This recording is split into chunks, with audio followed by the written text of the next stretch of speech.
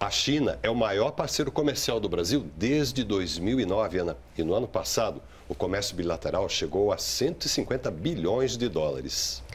E nessa dinâmica, a Comissão Sino-Brasileira de Cooperação, que foi criada em 2004, teve um papel fundamental.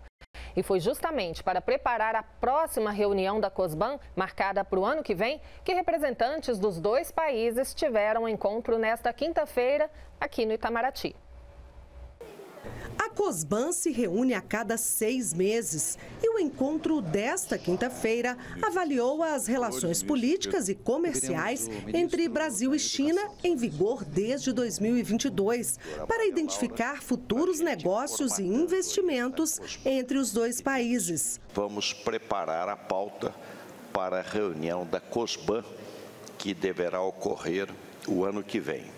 Então, cada ministério levantar na sua área quais os temas na relação sino-brasileira. Desde 2009, a China é o principal parceiro comercial do Brasil e tem sido uma das principais fontes de investimento externo no país. O Brasil é o país que recebe mais investimentos chineses na América Latina, mas as relações vão muito além do comércio. Quando o assunto é meio ambiente, o Brasil quer somar a experiência chinesa na recuperação florestal. Ela tinha uma cobertura florestal de apenas 8% em menos de 40 anos, ou cerca de 40 anos. Eles subiram essa cobertura florestal para cerca de 28% e têm o compromisso de fazer uma restauração de floresta de mais de 70 milhões de hectares. Também pretende ampliar a cooperação entre as universidades chinesas e brasileiras. São 120 universidades chinesas que oferecem curso de português naquele país. E a ideia é que esses, esses alunos possam fazer estágio de até dois semestres aqui em universidades brasileiras.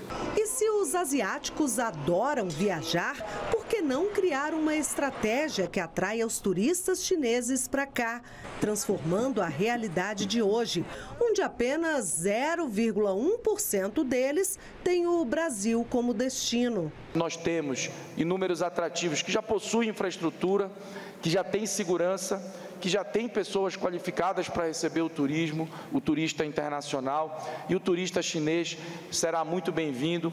O fluxo comercial entre os dois países está em crescimento constante, mas o agronegócio brasileiro quer ainda mais e já tem alguns alvos na mira a habilitação de quatro novas plantas frigoríficas e o levantamento da suspensão de outras duas que estavam suspensas há pelo menos três anos, voltaram às exportações.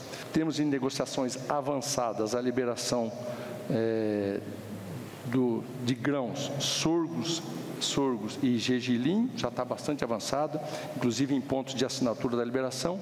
Em fase final, é, a liberação para exportação do Brasil para a China de uva fresca. Já o Ministério dos Transportes, que este ano vai tocar as obras do PAC com a retomada dos investimentos públicos em infraestrutura, prepara um cardápio diversificado e vantajoso, que atraia parcerias chinesas para o projeto de ampliação da capacidade brasileira. Esses projetos, eles são todos elegíveis para receber investimentos chineses, tecnologia chinesa, equipamentos chineses. São boas as perspectivas para as relações aí entre Brasil e China.